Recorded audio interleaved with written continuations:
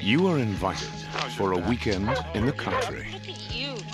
A weekend of old friends and good times. Or so it seems.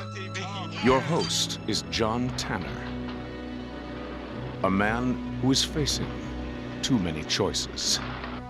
What would you do if a total stranger proved to you that your three closest friends are Soviet agents? And you propose to use John Tanner to effect this? If we can convince him that his friends are spies. Are you, uh, expecting house guests this weekend?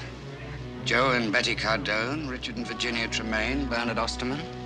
Are these people represent a grave threat to the security of the United States of America? What is it you want me to do? Just behave normally. You don't have to do anything. Would you cooperate with the authorities?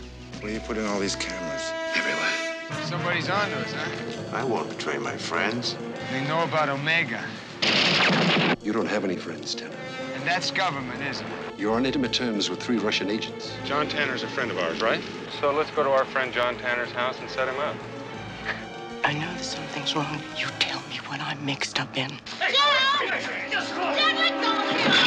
It's getting tricky now, isn't it?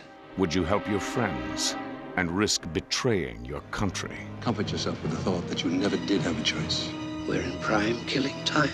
And when you finally knew the truth, would you know too much? We're all gonna die. Betty, get out! Rutger Hauer, John Hurt, Craig T. Nelson, Dennis Hopper, Meg Foster, and Burt Lancaster. The one weekend of the year you won't want to miss. The Osterman Weekend.